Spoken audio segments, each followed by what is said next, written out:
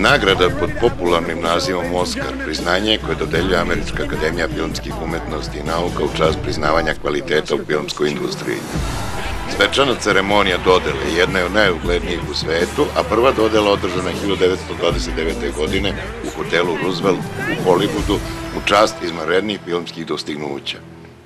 Američka akademija filmskih umetnosti i nauka od 1947. godine dodeljuje i nagradu Oscar u kategoriji inostranog filma.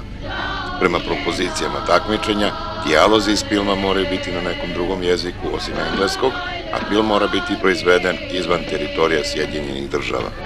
Prvi predstavnik jugoslovenske kinematografije 1958. godine je film Giuseppe De Santisa, Cesta duga godinu dana, koji je pored učešća nominovan i za nagradu.